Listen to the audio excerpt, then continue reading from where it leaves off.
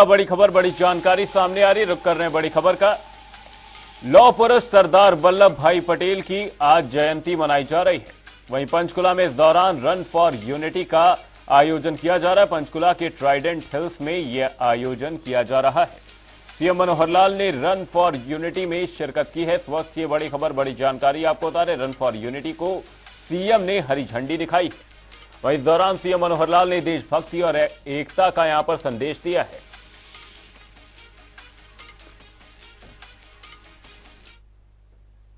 है कि इकतीस अक्टूबर हर वर्ष रन फॉर यूनिटी की जयंती के दिन।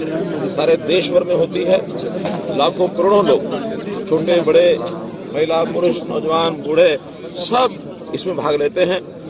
मेरा ये सौभाग्य है कि पिछले कई वर्षों से मुझे भी हर यानी वर्ष किसी न किसी स्थान पर रहने का मौका मिलता है। आज पंचकुला के इस क्षेत्र के अंदर और एक प्रकार की एक बड़ी यात्रा पहली बार इस क्षेत्र में मुझे लगता हुई है। इसका एक संदेश यही है कि देश को आज़ाद कराने वाले रण बाकुरों ने अपने बलिदान दे करके बड़ी मुश्किल से आज़ादी ली है।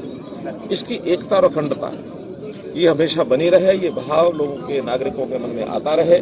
सरदार वल्लभ भाई पटेल इसके एक प्रतीक के रूप में उनकी जयंती का दिन इसलिए चुना है कि जब देश आज़ाद हुआ उस समय पाँच सौ बासठ रियासतों में ये देश बटा हुआ था।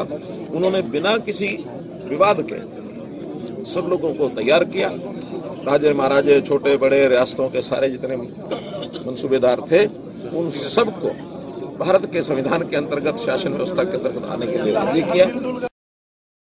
सरदार वल्लभ भाई पटेल जिन्होंने देश को एक करने के लिए, देश की एकता के लिए पाँच सौ बासठ रियासतों को देश के अंदर सम्मिलित किया। आज ऐसे लौह पुरुष का जन्मदिन। और आज पूरे देश के अंदर उनके जन्म दिवस को राष्ट्रीय एकता दिवस के रूप में मनाया जाता है। मैं सभी देशवासियों को विशेष तौर पर युवाओं को बधाई देता हूँ। आज जिस प्रकार से रन फॉर यूनिटी का जो एक कार्यक्रम, जिसमें हज़ारों की संख्या में युवाओं ने भाग लिया आदरणीय मुख्यमंत्री जी ने फ्लैग ऑफ़ किया।